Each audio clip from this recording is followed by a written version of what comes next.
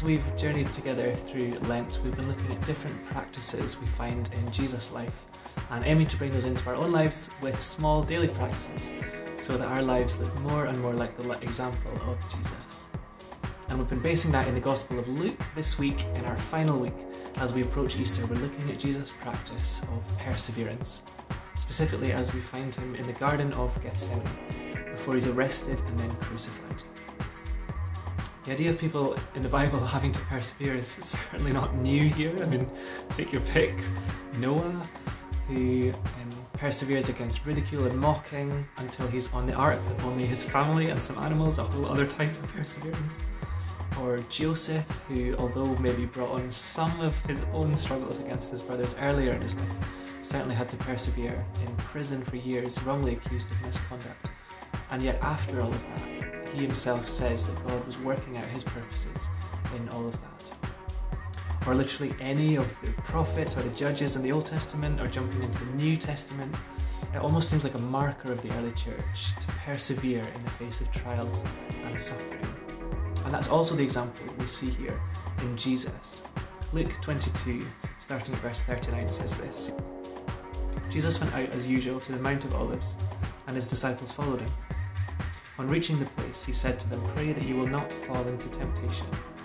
He withdrew about a stone's throw beyond them, knelt down, and prayed. And then we get one of Jesus' most famous prayers Not my will, but yours. And picking up in verse 45, when he, Jesus, rose from prayer and went back to the disciples, he found them asleep, exhausted from sorrow. Why are you sleeping? He asked them.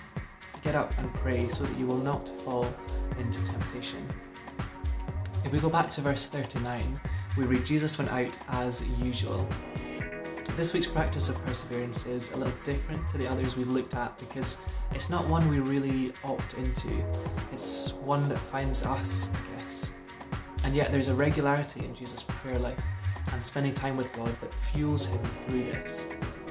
And the repeated phrase that Jesus warns the disciples with is pray so you won't fall into temptation.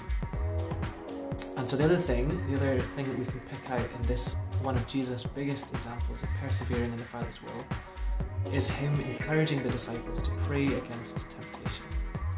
He almost sets these up as opposites perseverance and temptation. And so we need to know what we're persevering in, and we need to know what we might be tempted by.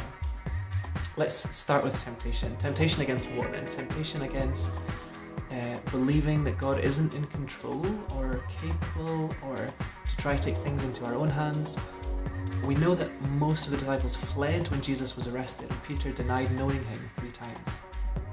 And so the temptation is to incorrectly view or define God by our experience of difficult circumstances, and rather hold on to the truths we know about God outside of those situations. We're persevering in the plans and will of God our Father, creator of the universe.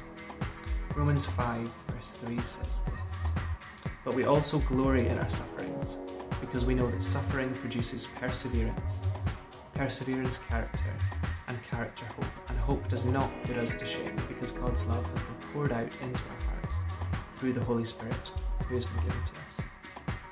And so Jesus is the ultimate example of one who knows what it is to suffer and yet persevere in the Father's purposes, praying, Not my will, but yours be done.